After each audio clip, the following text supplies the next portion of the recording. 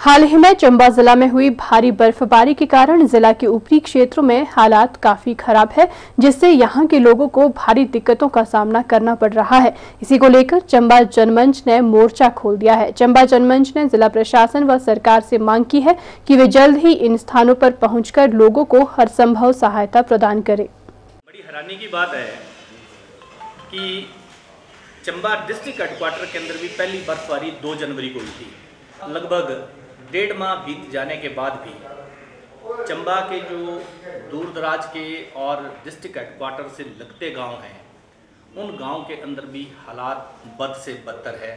चाहे वो सड़कों के हालात हों, चाहे वो खेती के हालात हों, चाहे बिजली के हालात हों। बड़ी बड़ी आपदा प्रबंधन कमेटियाँ बनी डिजास्टर मैनेजमेंट के लिए कमेटियाँ बनी, उनके सारे के सारे दावे जो है प्रशासन के खोखले सिद्ध हो रहे हैं।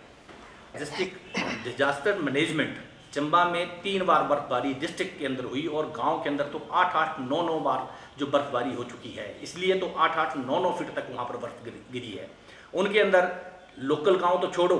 अब मैं सरकार से पूछना चाहता हूँ या जिला प्रशासन से पूछना चाहता हूँ कि अलमी, चोबू दगाड़ा, जियोरी जो लिल के अंदर है, बेल्ट के अंदर गिरड माता, है, ऐसी कौन कौन सी जगहें हैं? हमारे महिला परिक्षेत्र के अंदर आप देखो, चड़ी बंदला, दाड़वी, रामबो नॉन ट्राइबल की पंचायतें, भरमौर की पंचायतें, पांगी की पंचायतें किन किन क्षेत्रों के अंदर जो है डिजास्टर मैनेजमेंट निकली है? अभी जो लेटेस्ट बर्फबारी हुई थी, आठ फरवरी को हुई थी मेरे ख्याल में। तेरह फरवरी को डिजास्टर मैनेजमेंट जो है धूप निकलने के बाद निकलती है और गाँव का दौरा करती है। हैरानी की बात है डिजास्टर मैनेजमेंट जो है आपदा प्रबंधन तो है, जब बर्फबारी हो रही थी, जब नुकसान हो रहा था, उस वक्त लोगों की सहायता के लिए जाना चाहिए था। लोगों को क्या राशन की उचित व्यवस्था है? उनके पास खाना पहुँच रहा है। बिजली की आपूर्ति अभी तक कुछ एक गाँव को छोड़ के नहीं हो पाई है। मैं ये बोलता हूँ कि लोकल गाँव के लोगों ने सहयोगात्मक रूप से काफ़ी ज़्यादा सहयोग बिजली विभाग का किया है।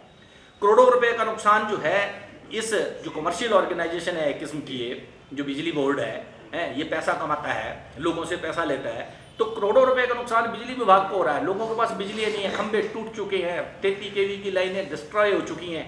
इलेवन के की लाइनों का बुरा हाल है, उसमें मैं फिर बोलता हूँ कि जो जो छोटा स्टाफ है, उन लोगों की बड़ी मेहनत है, रात दिन वो मेहनत कर रहे हैं। पर जहाँ एक ट्रांसफार्मर पर एक आदमी नियुक्त होना चाहिए था, आज पोल खुल रही है कि 20-20 ट्रांसफार्मरों पर इनके पास एक आदमी है। इसकी व्यवस्था विद्युत विभाग ने करनी थी, सरकार ने करनी थी।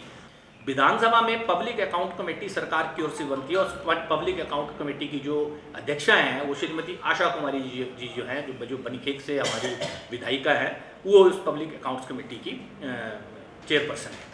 तो हैरानी की बात है, पब्लिक अकाउंट्स कमेटी ने सरकार के ऊपर इस आपदा प्रबंधन को लेके, जो आज की अखबारों के अंदर मना पड़ा विधानसभा के अंदर गंभीर आरोप लगाए हैं। उसके बावजूद भी सरकार के कानों में जूनी रेंग लगी है, प्रशासन के कानों में जूनी रेंग रही है, जबकि पब्लिक अकाउंट्स कमेटी इसके बारे में बोल रही है।